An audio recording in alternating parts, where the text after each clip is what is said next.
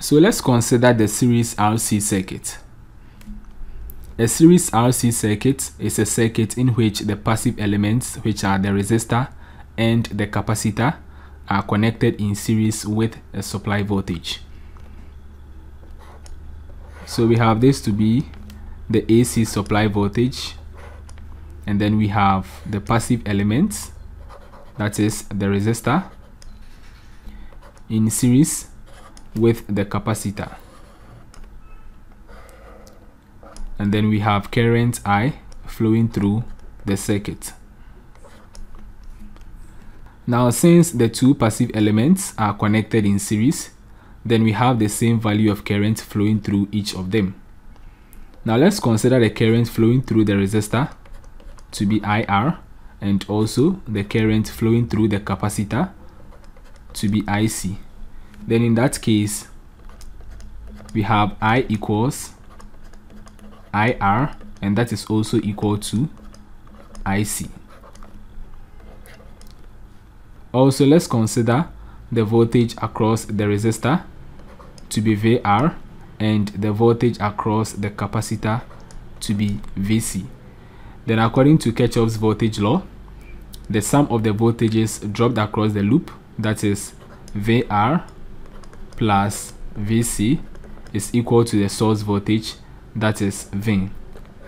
Notice that the voltages and currents here are all phasors. So how do we find the impedance of this circuit and also the phase angle between the voltage and the current? Now let's consider the phasor diagram of this series RC circuit. So we have this to be the positive x-axis and also this to be the negative y-axis. Now since we have the same value of current that is I flowing through the two passive elements, let's consider I to be the reference phasor. So we are going to consider I to lie on the positive x-axis. So this is I.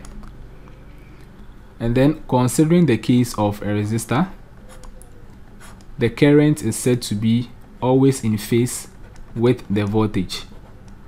So the voltage across the resistor, which is VR, is also going to lie on the positive x-axis so that it will be in phase with the current I.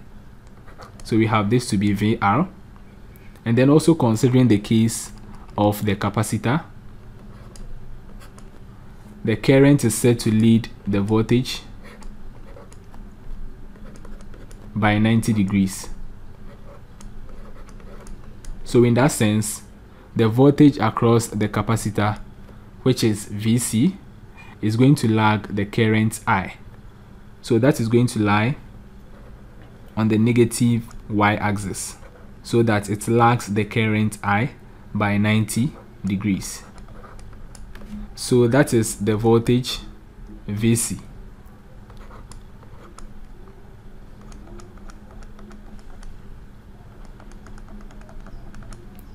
And then we have this to be the resultant phasor, that is the supply voltage and then we have this to be the phase angle between the current and the voltage. So considering this phasor diagram, you realize that we have V square equals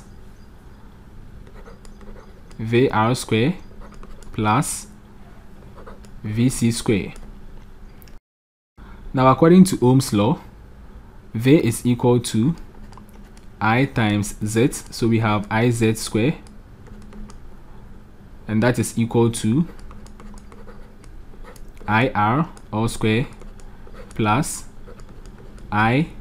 ixc all square.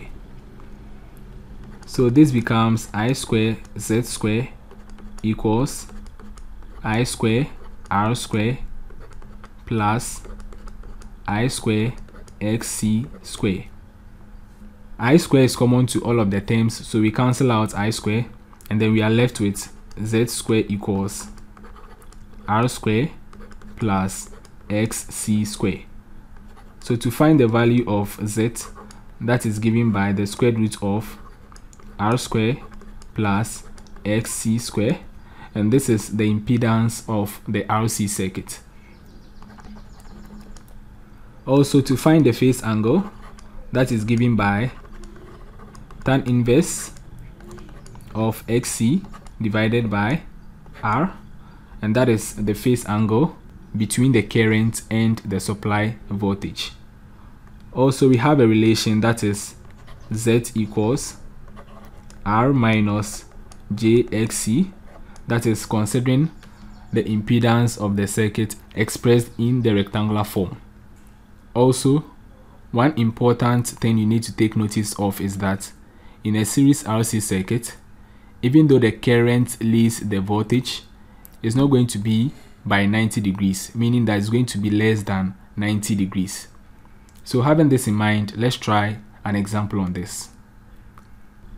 So considering this example, from the circuits below, find A, the reactance and impedance of the circuit, B, the current in the circuit, C, the phase angle between the current and the source voltage. Now we have this circuit comprising of a resistor connected in series with a capacitor. We have the resistance to be 30 ohms and also the capacitance to be 200 over pi microfarad and then they are connected to a 200 volt 50 hertz supply.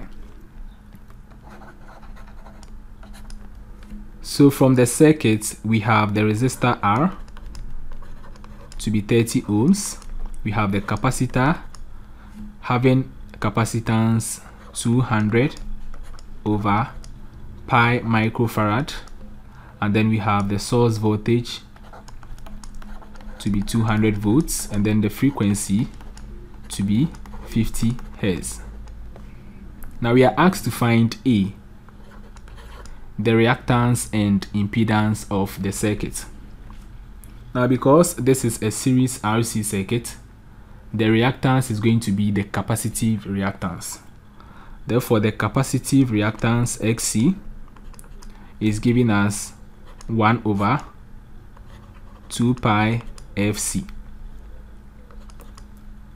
So we have 1 divided by 2 pi times F which is 50 hertz so 50 and then times C which is 200 over pi microfarad so that is the same as 200 over pi times 10 exponent negative 6. And then that gives 50 ohms. Therefore, we have XC to be 50 ohms. Also, we are asked to find the impedance of the circuit. So the impedance of the circuit is given by Z equals R minus JXC, negative JXC simply because we have the reactance to be capacitive. So we have the value of R, which is 30 ohms, minus JXC, we have XC to be 50. So this is the impedance of the circuit. Now let's convert this from the rectangular form to the polar form. So we are going to have 58.310 polar negative 59.036. So we have the impedance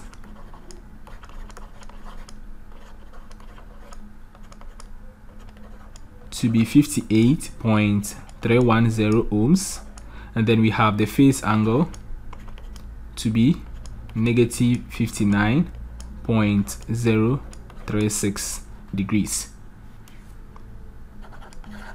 B. We are asked to find the current in the circuit. So the current in the circuit is given by the value of the supply voltage divided by the impedance of the circuit. So we have the supply voltage to be 200 divided by the impedance that is 58.310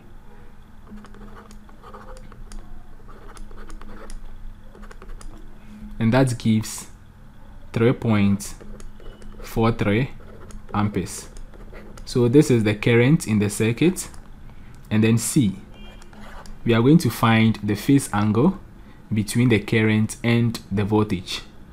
Now from A we had the phase angle to be negative 59.036 degrees.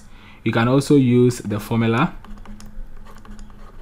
tan inverse of xc divided by r and then we have xc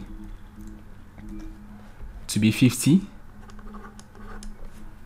now considering this you realize that this becomes negative 50 so divided by 30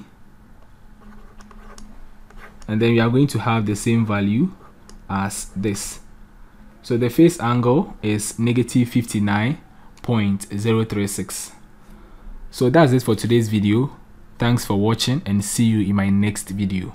Bye bye.